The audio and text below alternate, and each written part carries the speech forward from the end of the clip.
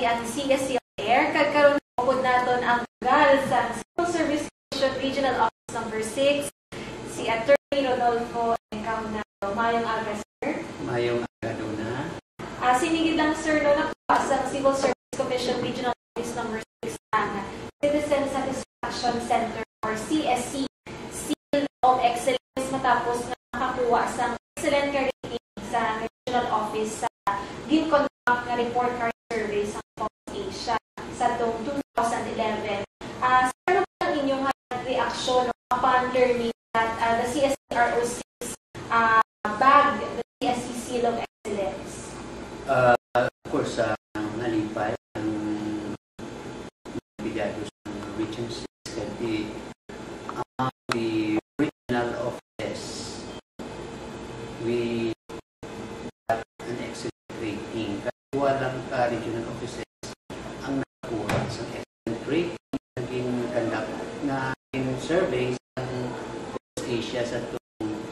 last week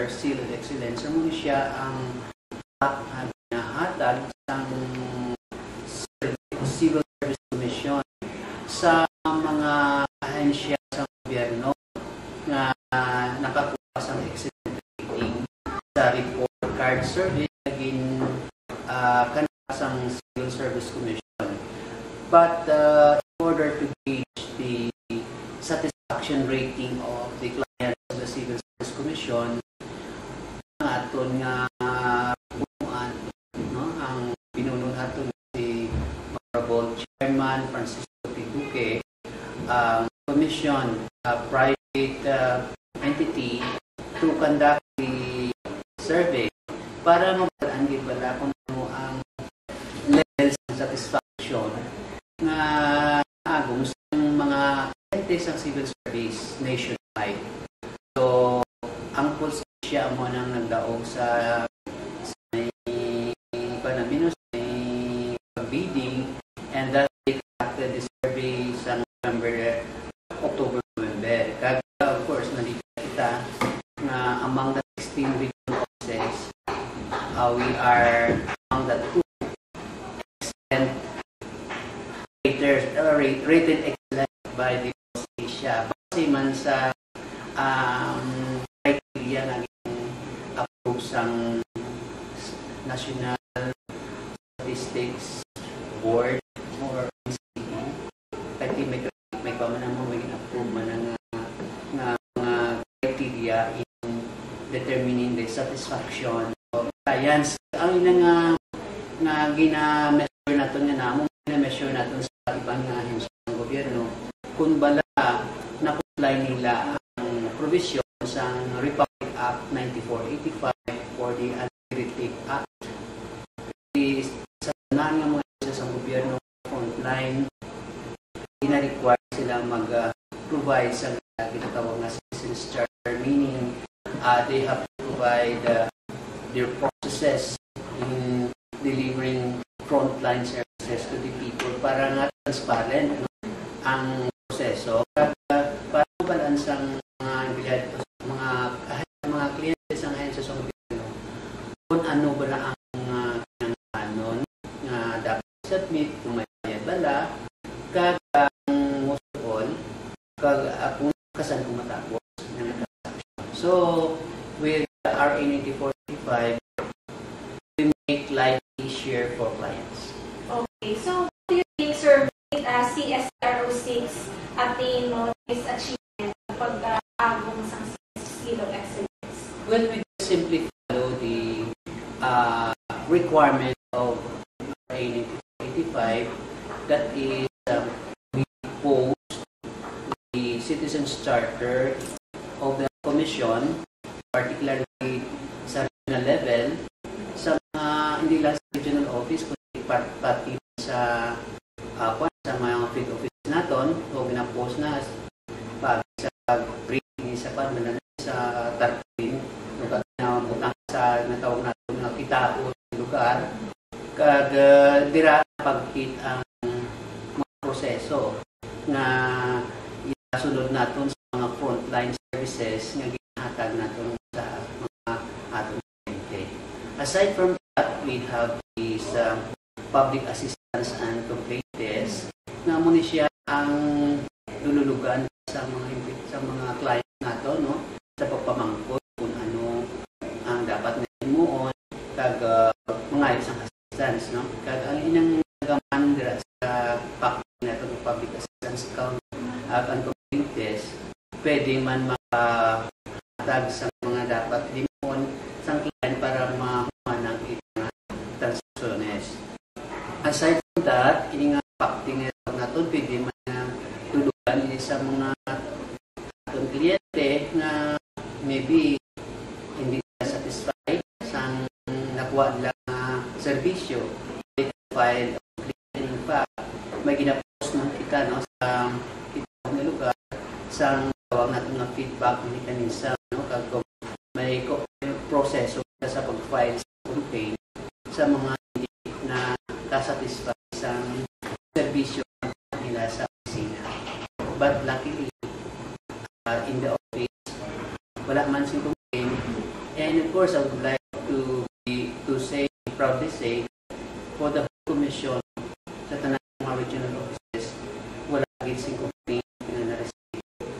Ang, ang mga offices natin no, sa ating mga kliyente, most of the clients, in fact, um, um, commended CSC regional offices for achievement done. Kung iti base sa criteria na uh, kakuha kitang 90.4% rating which is equivalent to excellent. No? Kay may ara siya kapatid, apat ka balasan mo na ng rating mo. No? Ang una, uh, 90 to 100% is equivalent to excellent rating. For those na ka-garner 80 to 89.99, uh, good rating. For those na nakuha sa 70 to 70, uh, 9, uh, 79.99 is acceptable and below 70 um, failure. So, apat na rating actually. And we are glad that uh, the rating of the commission based sa results ng survey sa Pulse Asia is uh, good, meaning daw malapit sa sa outstand sa excellent rating ang uh, rate sa commission sa uh, pagkandak ng survey sa Pulse Asia. Uh, service uh, achievement, no? paano pag nato, do you have plan para mas masan yung pag ang uh, pag-deliver sa services sa uh, SROC? Well, as the saying goes, there is always a room for improvement because uh, ika nga, wala sing perfect na uh, proseso. Uh, from time to time, review our process and, uh, and uh, improve the same. Kung nakuha kita subong because at the time, standard na muna. And maybe uh, later years, may mga demand ang client natin nga standard natin nagataas. So, there is a need for us not only to maintain what we are doing now, but we have to improve our services so that we would be able to not only satisfy our clients, but uh, they will be very, very satisfied with what we are doing, are offering. Why? Because we are the reason for our being here in Philippines. So, kailangan na nakakabag. Dapat yung nakakabag naman, tagaan natin sa isang nakakaibo na importansya sa sa business sa ating opisina. Okay, madam, mga salamat. Sir, nung luwas sa pagkaagong sa CSC Regional Office Number 6, uh, the Citizen Satisfaction uh, Seal of Excellence or CSC Seal of Excellence, uh, bugal man natin nga luyag ipabalo sa public nga naaguman sa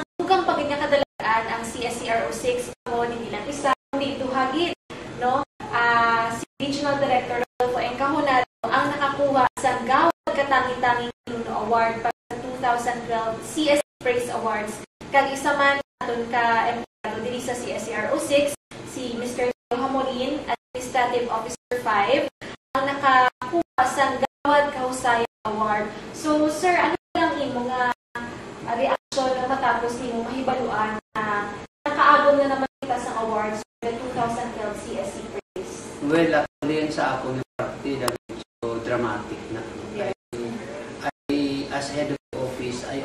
encourage uh, division chiefs,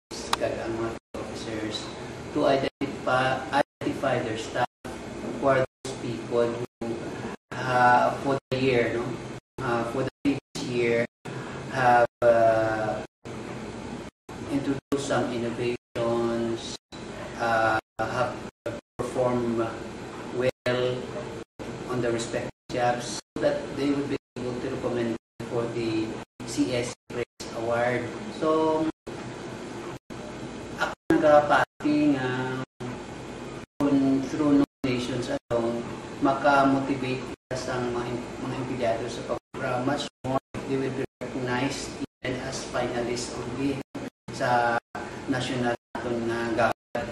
And uh, we are glad that uh, for the past five years, in na sa uh, sa central sa award that uh, the Commission Regional Office number 6 and CC Regional Office number 6 is a runaway winner for this uh, annual awards for the last five years except in 2010 where wala kita kasing semi-finalist no and uh, uh, for the record no since 2009 we have three officials in the region who have uh, who were awarded as Katangi-Tangi Pinuno. First is uh, Director Evelyn Ihar, nga sa unang stasyon siya sa Aklan, nagkaroon na assign na sa um, Iloilo Provincial Field Office naton. Ang ikaduwa nga winner nato na mo Director nato ang una nga si Director uh, Fernando Mendoza nga karon na promote because of his award. He was uh, promoted as assistant director of our office for uh, um, kanya, office for strategy management ng tanong. And uh, of course, uh, lately, I was uh, also chosen as the katangat-tanging uh, tanging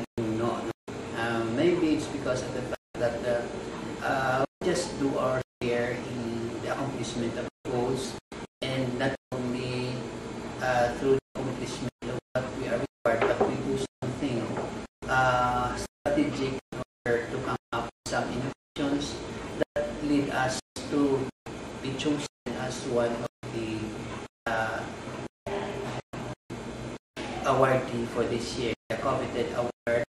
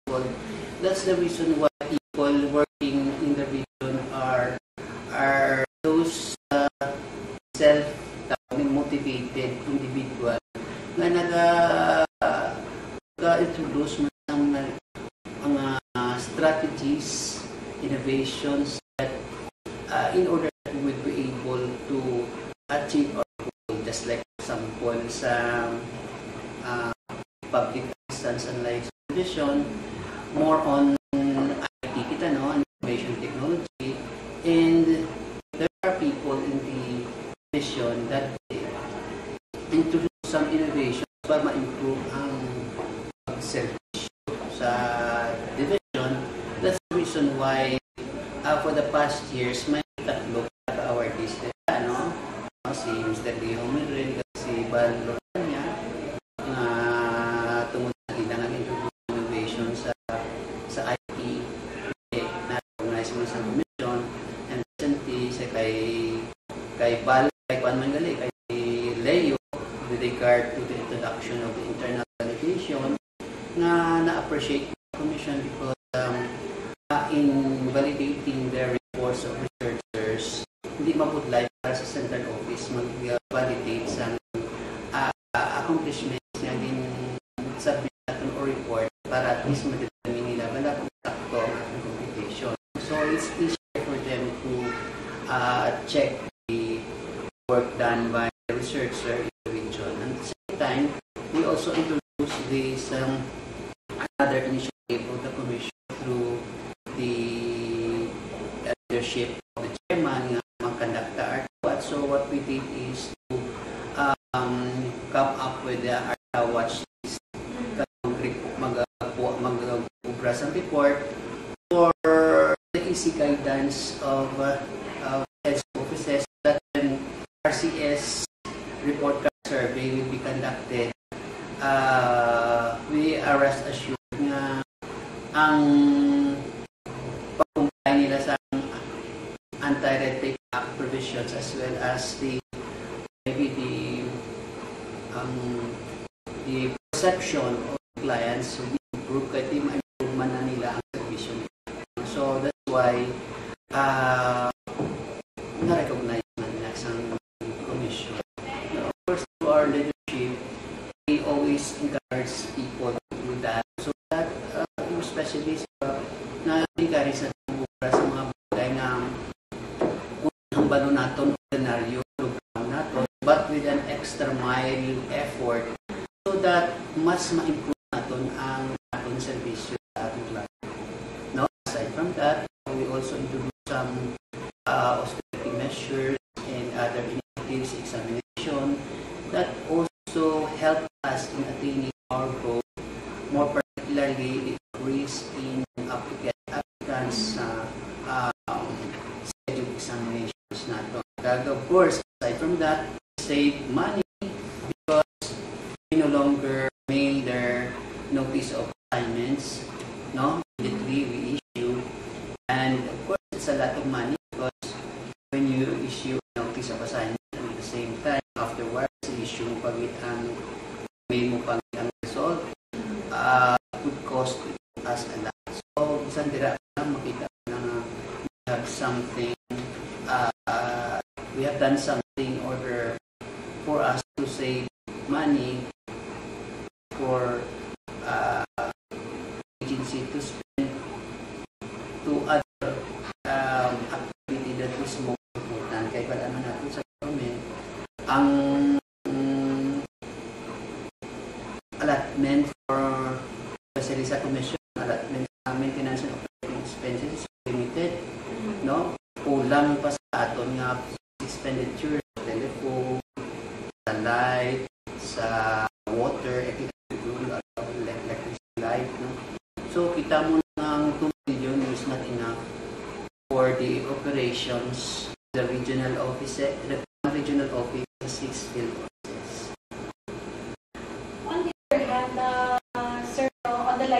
lighter side, uh, how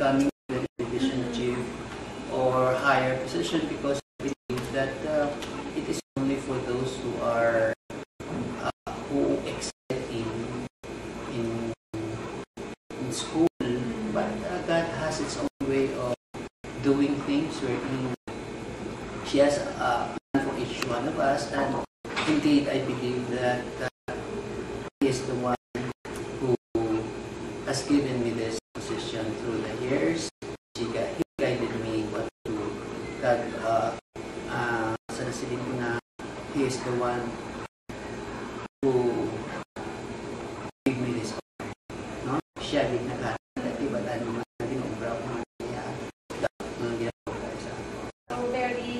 Mary na ah, background, ng from the lowest position pagkato sa regional director sa CSRC. Yes, but because I believe uh, for those who are uh, aiming high, uh, just to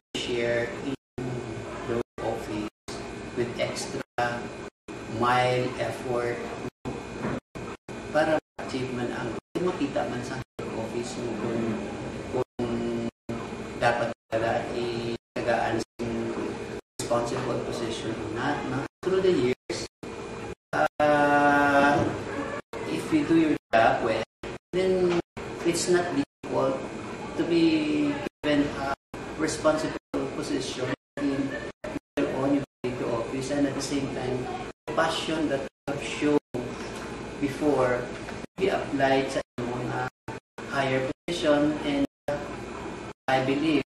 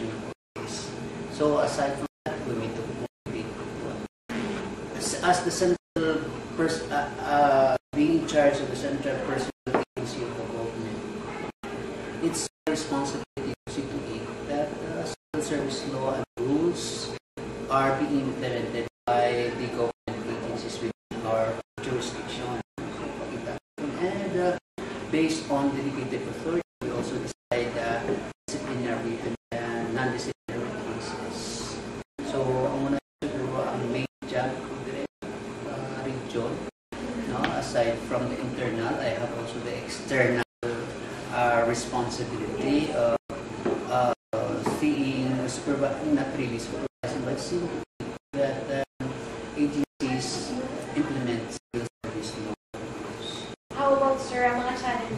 Well, there are many challenges.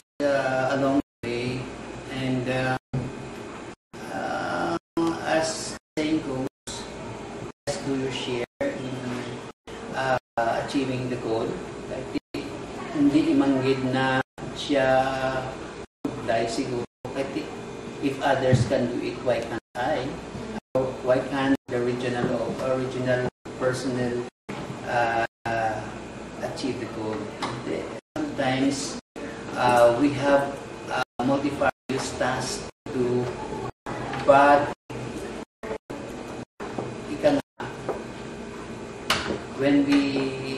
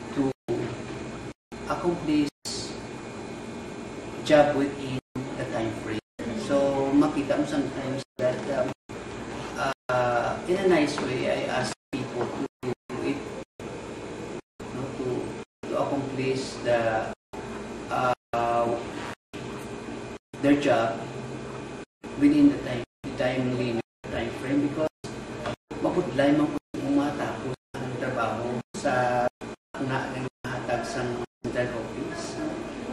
Kung sa kwan, medyo kung sa sa kabantay ka karabaw,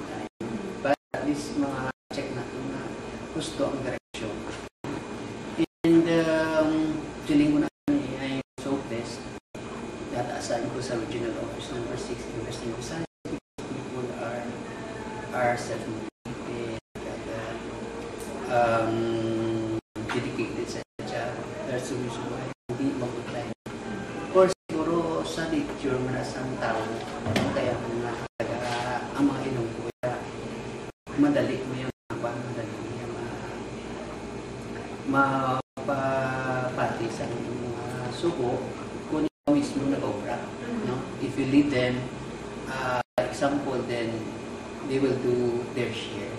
Okay. Uh, Sir Ria, para sa mga unique uh, qualities or hobbies no, that other people do not know about? Unique qualities, I do not know.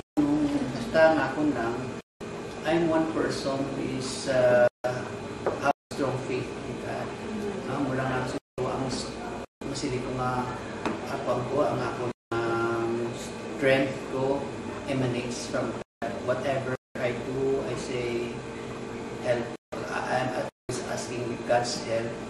even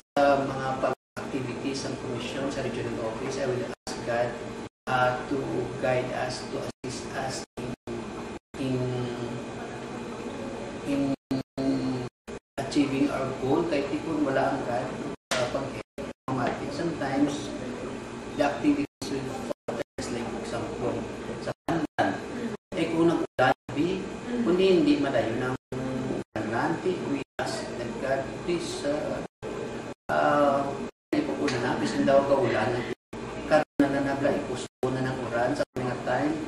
No? I was surprised when the rain falls at the time that I asked him to fall. Kasi ko, abokrati.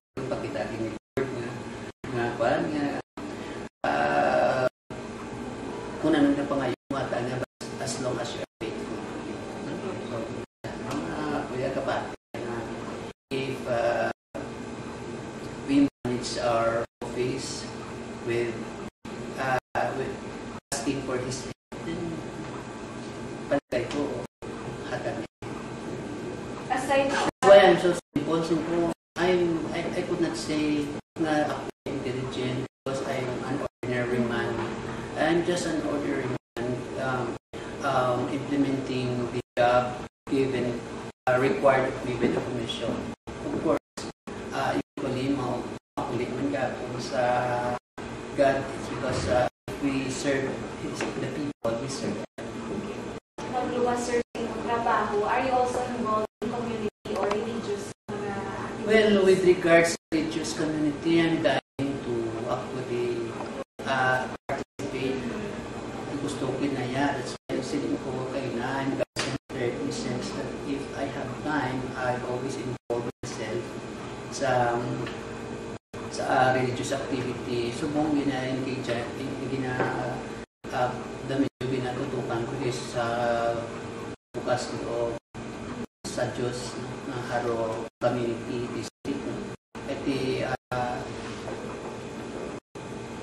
madam.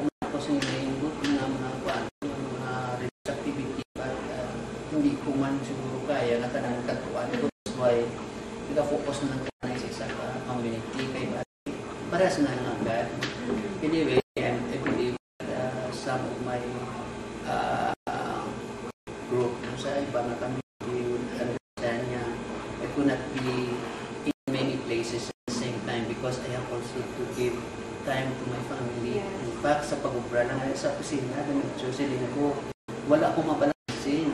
Ang hapon nga pag-spend time sa family kag sa opisina because most of the time I'm out of the region. Dito sa central office, kung because of the job that they are requiring me to get involved. Ah, medyo, kumbaga sa kwan, there is no quality time that I spend for them. But uh, I'm glad, I'm happy that uh, despite of that, medyo malamig ang pag-intindi sa akin ng miyembros ng family. So, thank you so much for them. Because of this. Okay. Sir, para sa mga public servants who are also striving to achieve no, sa ilang trabaho, ano mo guys yung mga kanina? Well, uh, ang advice ko lang sa fellow public servants ko is just do your share. Kung anong trabaho sa ating mga posisyon, kung taon sa eksakton. And if possible, uh, do something that would uh, enhance or improve the work that we are doing. Hindi lang kita kontento kung ang mula na, mula na siya, nang tawag lang ka sana, kung ang comfort zone, tira ka lang, kahit uh, I always emphasize sa training, especially kung sa values sa uh, training program, na the reason why we are employed to government, the reason why our government agency, our respective government agency exists, is that of the people. So we need to deliver in our own way. We could uh, contribute to the achievement of the societal goal of the government, and that is poverty alleviation. So paano, paano natin mapunit ang poverty alleviation? So nato, ba't mo inaobra nato ng aton na trabaho, ma-achieve sa atong organization, ang aton nga organizational uh, objective. So, achieve man naton ang societal goal. Kasi kung mapahapos naton ang life sa atong clients through our services, then the way nakabuli kita alleviate poverty sa atong community, sa atong And finally, sir, no, uh, in your own opinion, how can government officials or employees become a true lingkod or servant hero?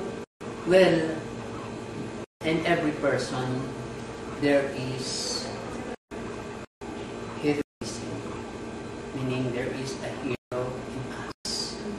All we need to do is let out, natin na through sana siling laki mo na doing our share and providing an extra mile service.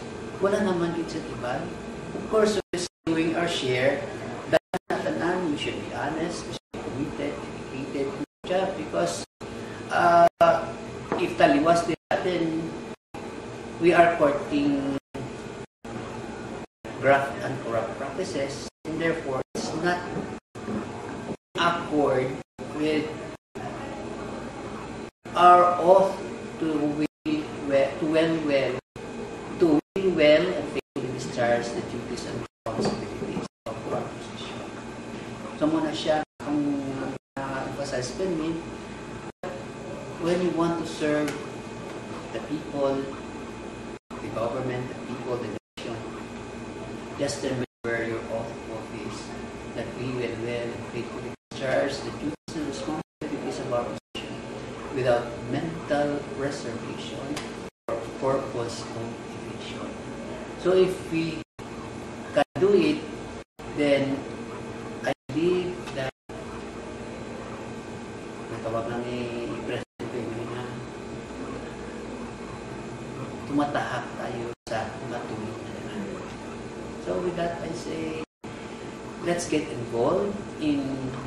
transforming our society through transforming first our individual selves. Because kung hindi natin matransform ang atong kaugalingon, then how would we transform the community, the society? Kaya may kasabihan kita, what we cannot give,